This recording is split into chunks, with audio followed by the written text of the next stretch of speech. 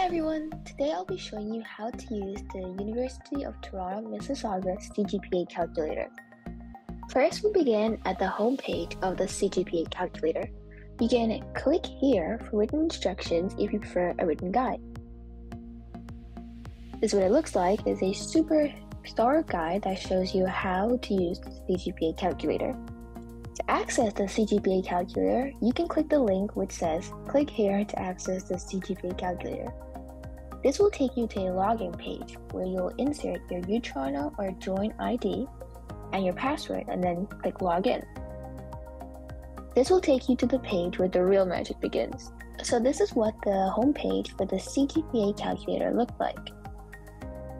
On the top left, you'll see welcome, your name, and your student number. If you've already received grades for previous courses taken at U of T, then you'll notice them on this table. So this table shows you the session in which you took the course, the course name, its weight, your mark, and the corresponding value.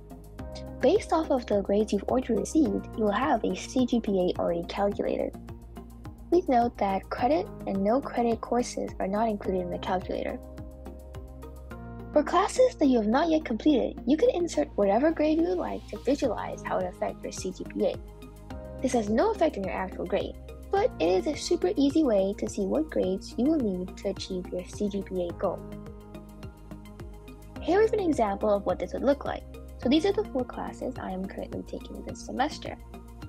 And let's say I believe these are the grades I might get for these classes. I've clicked the text box and inserted the grade I believe I may achieve and you'll see the corresponding GPA value appears. This will automatically change my CGPA. Again, this has no effect on your real grade, but just a really good tool to visualize what grades you may need. Note that if you achieve below a 50% in a course, for example, I assume that I achieve a 49% in MAT 232. Here, you'll see that it is indicated in red while every other text is in black. Well, Thank you for watching this short video. I hope it was super helpful in getting a quick overview of how to use University of Toronto Mississauga's CGPA calculator. Bye!